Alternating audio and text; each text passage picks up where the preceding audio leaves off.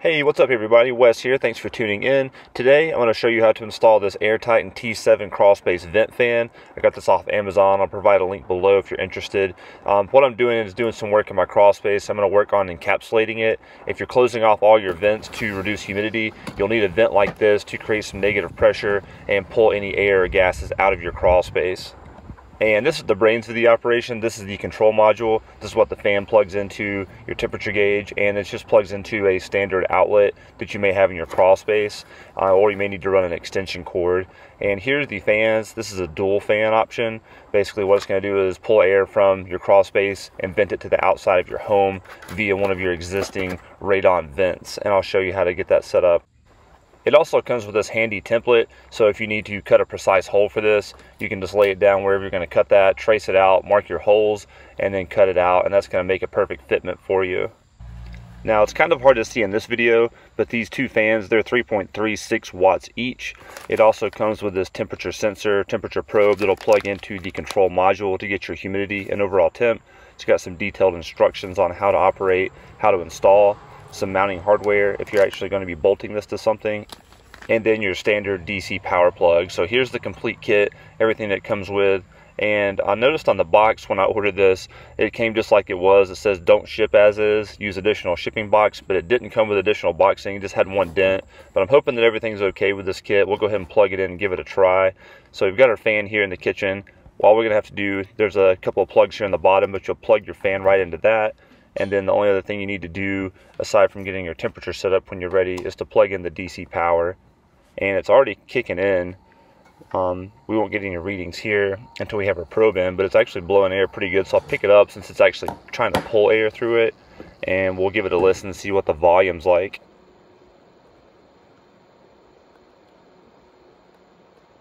So it's actually pretty quiet. Again, we're not getting any readings here because we don't have our probe set up. We'll do that once we do the install but I'm pretty impressed with the fan uh, output as well as the sound level overall. You can adjust the speeds here just in case you need to pump out some more air. Um, you can also set this to trigger for high humidity, high temperatures, to shut off during low temperatures, all kinds of different settings with this control module. And I think it's really going to help you out depending on whatever you're trying to achieve in your particular situation. But in my situation, I'm trying to lower humidity inside my crawl space. This is an example of the vent that we're going to replace here. I've sealed off all the other ones and I plan on coming back and doing a full encapsulation later. But I'll let you pop in here and check out what we've got going on so far. So what I've done so far is to put a foam board in each vent hole. I'll be sealing that one later. And here's where the air vent's going to go that we just purchased. So I need to knock out this little bit of mortar so that things are going to fit so I can pull the vent out.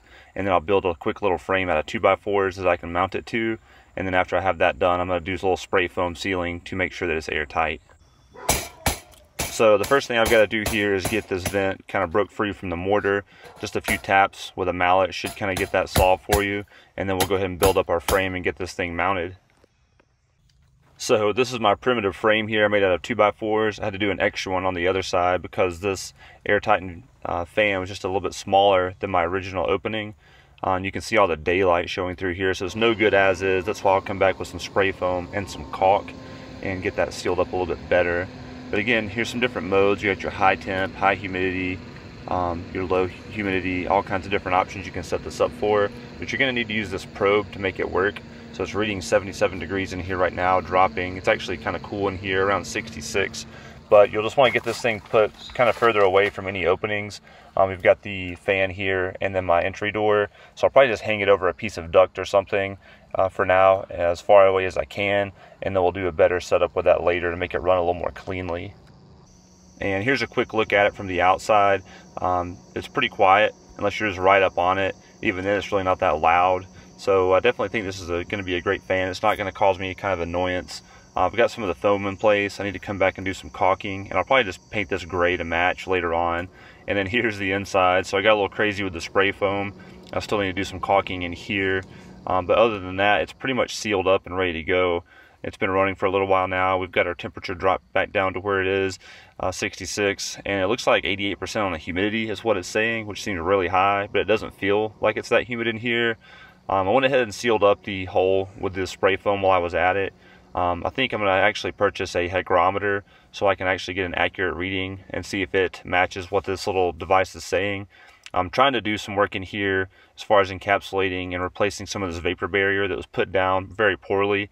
Um, it's supposed to be laid down um, kind of uniformly, overlapped six inches, and then taped. Um, none of it's overlapped properly. None of it was taped. Uh, it's just kind of in bad shape. But what you want to do is basically put a vapor barrier on the wall and on the floor, overlap it, tape it, seal all your vents, and have this exhaust vent fan that we just installed. That way, if there's any gases coming up from the ground, it's going to pull and vent those out. These are all important steps to encapsulate your crawl space. Also adding a dehumidifier. I'll do that as a last resort. But I'll let you guys know how this goes. I hope you enjoyed the video. If you have any questions, please leave those in the comments below. Also consider subscribing and I'll see you next time. Peace.